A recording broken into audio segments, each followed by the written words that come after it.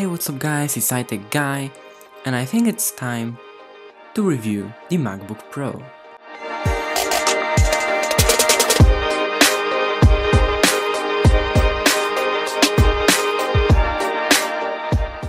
I know that the design depends on personal preference, but I think that this MacBook is one of the best looking laptops Apple has ever made. It is available in two different colors, silver and space gray. So if you want to be a cool kid in school and show off your new MacBook, go for the space gray. This laptop is really light, almost the same as MacBook Air. It is also really thin, and it has pretty small bezels around the display.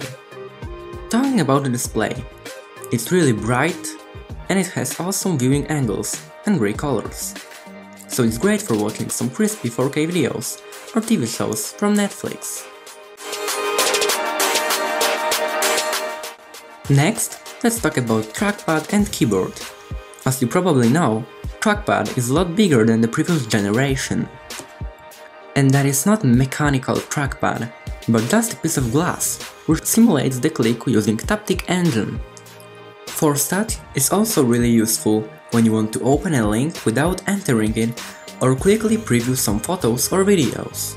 Some people complain that they have problems with palm rejection, but for me, it works fine. It gets some time to get used to the new keyboard, but after a few days I have to admit that I really like it and I can't imagine switching to the old one. It uses second generation butterfly switches and the key travel is pretty small. Backlight is really good and bright. It really helps with typing in dark room. I was pretty skeptical about the performance because when you look at the specs on this thing, you think overpriced and underpowered. Because for $14.99 you'll get 2.0 GHz Intel i5 processor, 8 GB of RAM, Intel Iris Graphics 540 and 256 GB of flash storage. But actually, I'm really impressed. Browsing internet and light stuff doesn't lag at all, and even really power-demanding apps like Final Cut Pro X or Adobe After Effects are working awesome. I was able to export a 3-minute 4K video in 3 minutes, you can check my full video about this, I will link it down in the description.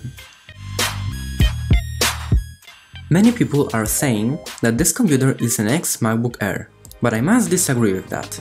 MacBook Pro is for people who works a lot with professional and demanding software, and MacBook Air could be a great choice for those who use computer rather for web browsing, checking email, editing documents and making presentations.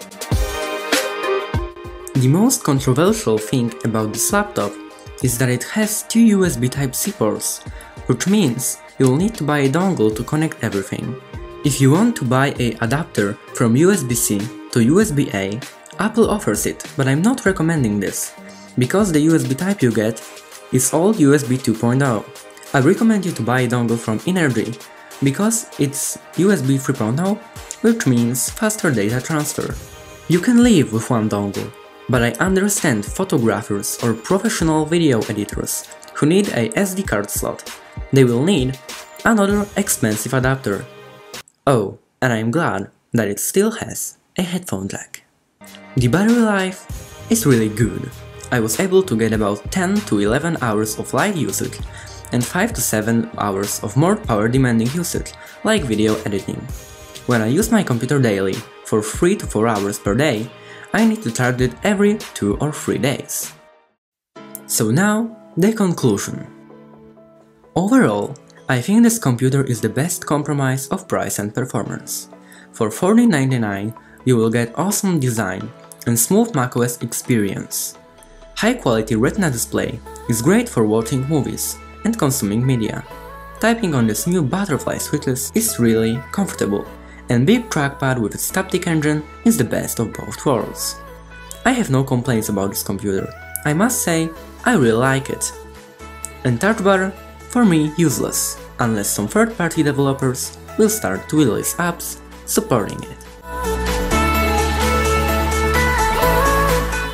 Alright, so thank you guys for watching, hope you enjoyed, and if you did don't forget to leave a like, And if you want to see more content, click that subscribe button.